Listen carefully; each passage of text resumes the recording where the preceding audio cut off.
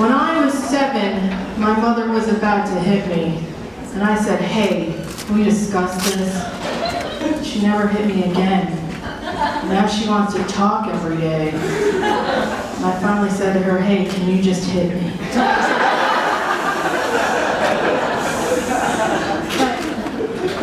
When I was in high school, my English told, my English teacher told me I had the humor of Bob Newhart. I thought it was the greatest compliment. Ran home to tell my mother, and she must have thought, don't have to worry about that one coming home pregnant.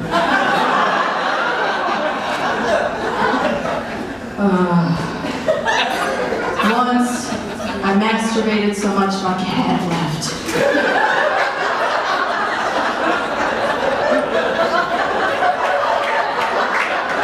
That is just more a cautionary tale.